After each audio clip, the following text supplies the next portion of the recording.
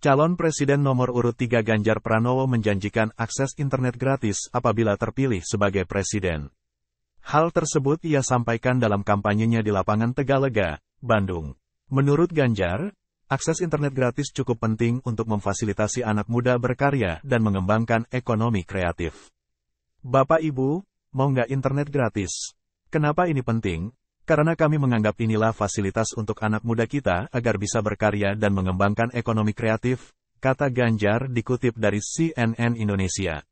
Ganjar menilai program internet gratis diperlukan agar masyarakat dapat memanfaatkan teknologi informasi serta digitalisasi. Oleh sebab itu, program internet gratis lebih penting dibandingkan program makan siang gratis. Ganjar optimistis dengan internet merata dan gratis, anak muda di seluruh Indonesia dapat mengembangkan bakat mereka untuk menjadi penyanyi, seniman, budayawan, penulis, desainer, atlet, e-sport, dan lainnya.